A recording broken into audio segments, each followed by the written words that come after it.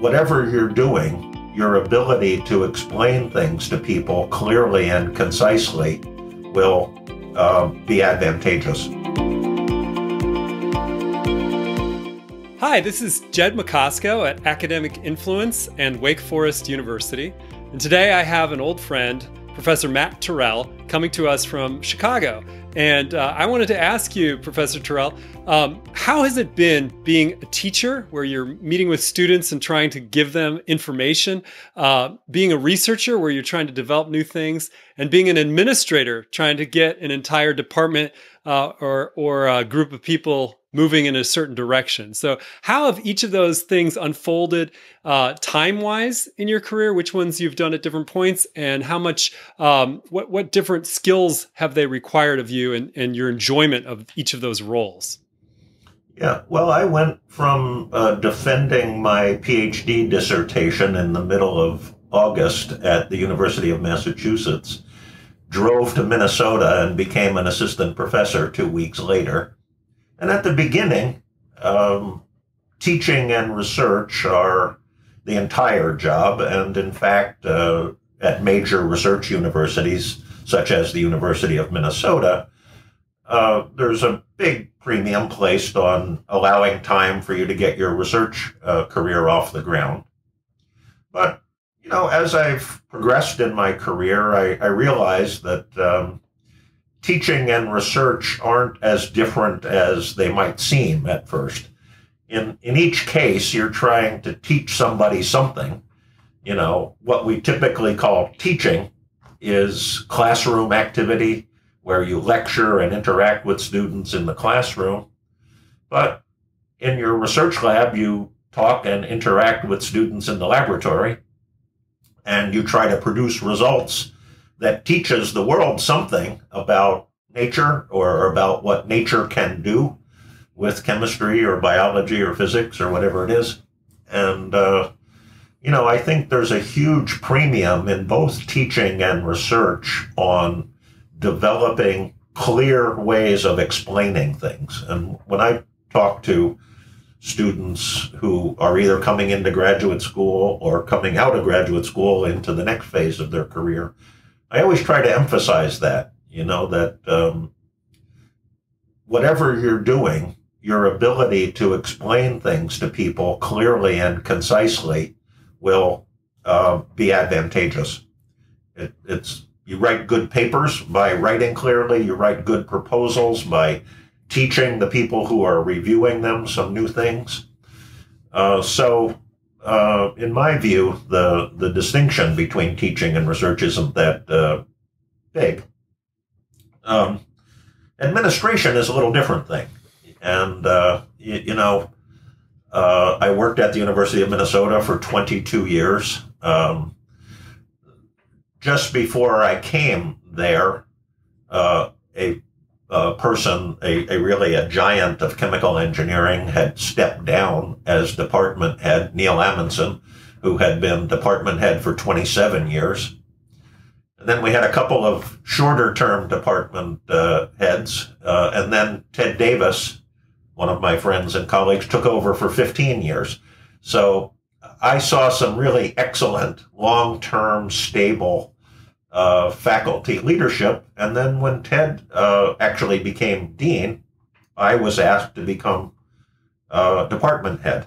Uh, so it wasn't so much that I was angling for the job. If I really wanted to move quickly into administration, I probably would have left Minnesota because there, there were such long term people there.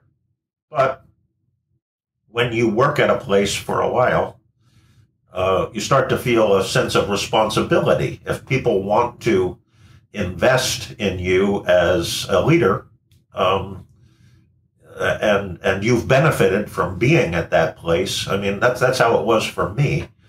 Um, you know, I was uh, honored basically by the request that I become department head.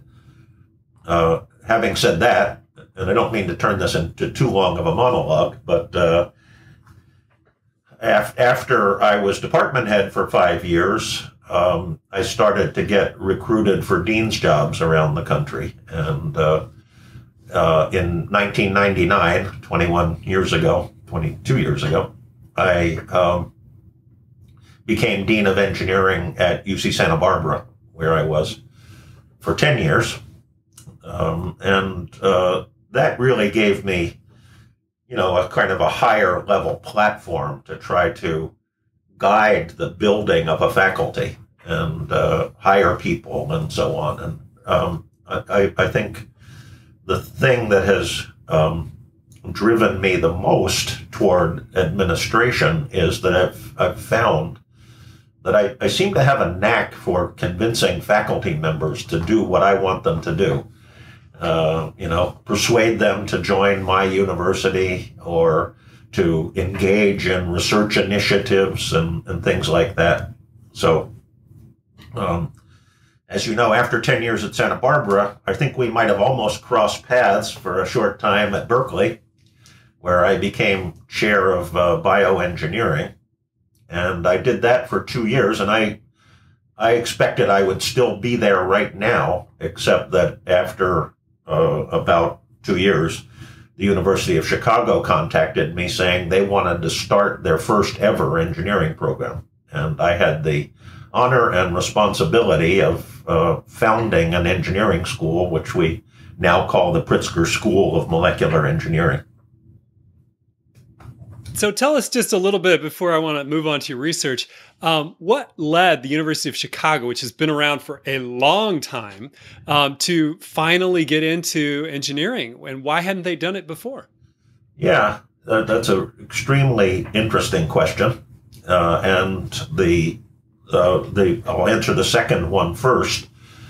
Um, you know, they uh, had a long-standing deep feeling of uh, scholarship uh, that you know you could sort of perhaps describe as um, knowledge for the sake of knowledge, for producing um, information for society, but that there were other places that could think about the applications.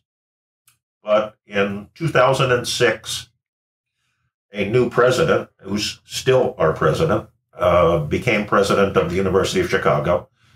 He's, his name is Bob Zimmer, Robert Zimmer, and uh, he um, had been a faculty member at the University of Chicago since the 70s. So he knew the University of Chicago's traditions, and he himself is a pure mathematician. But he felt that the university was really missing out by not having engineering and applied science. The way Bob described it to me when I first met him is that uh, basic science is stimulated by engineering and applied science, and the University of Chicago had been missing out on that.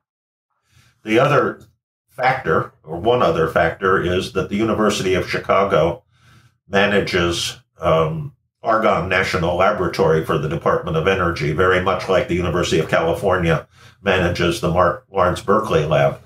And as we probably both know, the, the interactions between the campus and the lab at Berkeley are very strong. They hadn't been so strong at uh, at the University of Chicago and Argonne, and we've put a lot of effort into changing that over the last decade. Wow, that's incredible. That that gives me a better picture for what was going on. Just on that Argonne lab thing, was it partly because of the distance that you have to drive in order to get to Argonne National Laboratories compared to just you know taking a shuttle bus up the hill to uh, yeah yeah I mean I've I've talked about that a lot. I I think people say that you know Argonne is twenty miles away, um, but you know I I went up the hill a lot when I was at at Berkeley you know and you know, I walk from my office for five or 10 minutes, wait at the bus stop for five or 10 minutes, ride the bus for five or 10 minutes, and then walk from the bus stop up there to where I was going. So, you know, it would take 20 to 30 minutes to get from one place to another. I can be at Argonne in 30 minutes, and there's plenty of parking out there. So, so I think it was more attitude, uh, Jed. Okay. More, more attitude and not um, seeing as clearly as people have at Berkeley the opportunity. Of course, you know, the Berkeley lab historically grew out of the campus. It was. Lawrence's lab. Yeah. So the history is different too, and that Yeah, that I think changed people's attitudes. Well, good. Well, I'm glad you're getting them together. I, I spent time at Wheaton University, and there was a little bit of collaboration between that really small school and Argonne National Lab. But it's nice to know that the, the place that should have the most collaboration is finally getting a chance to do that. And Yeah. I'm I'm really excited that uh, that the University of Chicago has an engineering program now. I think it does add a lot to one of uh, you know the top schools, certainly in the center of the country. This the, the one of the top schools. So Well, and, the, and Chicago, you know, has supported this largely because it was the idea of the president in a phenomenal way. We have a brand new building. I've hired uh, about 35 new faculty members. Um, we've made sure that many of them want to interact with Argonne. We now have 200 graduate students and uh, an undergraduate program that has, you know, about 50 students a year in it. So, you know, it's really gone from zero to 60 or something like that uh, pretty quickly. That's great. So, what's next for you now that you've gotten it going and it's pretty much the size that it needs to be? Are you looking to uh, yourself be a university president now that you've worked with uh, Bob Zimmer and, and seen how how important it is to have a good university president? If, if I was 10 years younger, the answer to that would be yes. But, you know, I turned 70 last uh, fall. And, um, you know, and, and I'm really committed to this. I mean, the big news in the last year is that um, the um, Pritzker family uh, gave a gift in uh, 2019 of um, $100 million to the university to name our school. So uh, we used to be called the Institute for Molecular Engineering. Now we're the Pritzker School of Molecular Engineering. And because of that gift, the university has said we can double in size over the next decade, and they're going to build another building for us. So, um, so there's still a lot more to do leave. here. Yeah, th- this is not the time to leave. No, I Yeah, exactly, yeah, exactly. I, I'm. yeah, This is going to be it for me, you know. Uh, yeah, perfect. Um, Wonderful. and I don't know how much longer, uh, you know, but there's still a, you know, at least a decade's worth of work to do. I don't know if I'm going to work till I'm 80, but uh, Well, you look great. You really look great. And then has has your research? You, you mentioned your research about um, nanoparticles that can get through the liver, go to places like your heart that are getting clogged up with plaque, and help maybe get rid of the plaque. Um, has that research uh, been going along? And when did it get started? And where is it at right now? Well, the, the, the, this biomedical line that is a principal direction of ours really started uh, back in Santa Barbara when uh, we were working on some synthetic molecules that um, we call peptide amphiphiles. And the, the idea is to link a peptide, meaning a small piece of protein, with a lipid molecule so that you could get the biological activity just of the peptide you want, you know, not not uh, the whole secondary and tertiary structure of a protein, but uh, create a self-assembled nanoparticle uh, by attaching a lipid tail to the peptide. So you get a lipid core with a peptide uh, coat. And uh, interestingly, I I got to know um, another, uh, well, a prominent molecular biologist, I guess you'd call him, Erkki Ruoslahti. I don't know if that name means anything to you, but he's the guy who discovered that RGD was the uh, ligand that integrin molecules seek out. And we started a collaboration exactly on what I'm saying, using these peptide amphiphile nanoparticles to target atherosclerotic plaque. And we showed that we could get these things to home to atherosclerotic plaque in mice. He's gone on to do different things, and, and I've sort of moved this toward more therapeutic applications. Um, what can you put in the cores of these nanoparticles that uh, not only allow you to diagnose atherosclerotic plaque, but actually can carry some kind of therapeutic agent to them. And, and, and without being totally mysterious, the kind of therapeutic agents that we're bringing are anti inflammatory compounds because atherosclerosis is fundamentally uh, a result of inflammation that caused it's either caused by lipid buildup in the endothelial lining or by disturbed blood flow and, and vortices. And, and so we've developed some interesting ways that uh, actually are having some success. And, and, I've said atherosclerosis, but there's other conditions that it seems to work for too. That's so wonderful. So, do you think it could turn into a therapeutic that people with plaques in their heart and, you know, possible stroke potential stroke victims might be able to use? Maybe. The the problem with that exactly, uh, and we're still hopeful that it might, is and and this happens with any kind of drug or therapeutic is who do you give it to and when and why and, you know, atherosclerosis is such a slow developing disease. It's not clear, you know, would you give it to every 50 year old or something? Or would you just to check out what's going on? Or, you know, maybe those with a personal or a family history of some kind of heart disease.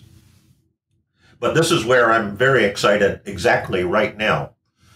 Uh, we've discovered that these exact same particles that reduce the uh, rate of growth of atherosclerotic plaques in mice uh, work well for another much more immediate indication, which is uh, something that happens in kidney dialysis.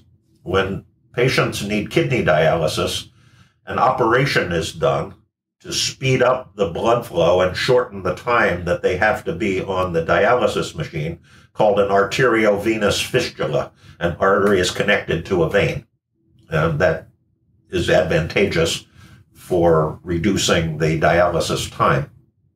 Um, but this dis- this disturbs the blood flow. It creates vortices, and in thirty percent or more of the patients um, downstream of this fistula, the, the blood vessel starts to close off. It's a different phenomenon from atherosclerosis, uh, but it's still caused by the inflammation of the disturbed blood flow. And we found that our same nanoparticles can uh, stop that uh, so called stenosis due to uh, the arteriovenous fistula. And the thing is that here you know exactly what patients need it. And this kind of problem develops in a month or two, not a decade or two. So it's much more targeted. And then on the experimental side, uh, we've done this work so far in mice, but uh, the next thing we want to do is use larger animals such as pigs. And from an experimental point of view, you can do four of these fistulas in one pig because they have four limbs. And so you can get your data a, a lot quicker. So we're, we're kind of hoping to make some serious inroads, and, and we we filed a patent for this, and uh, I think we that might be where this plays out most uh, most uh, effectively. So that's another reason why I'm not looking for a university presidency. I'd actually like to see this thing.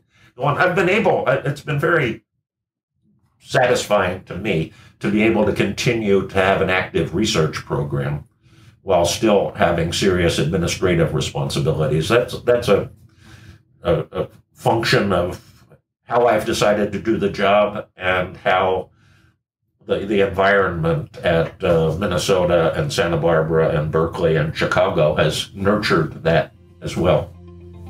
Wow, that's so great. I'm so glad to hear a little bit more about what you've been up to. It's just been a wonderful pleasure to see you again. Thank you for spending some time on our show. We really appreciate it. Okay. Thank you very much, Jed.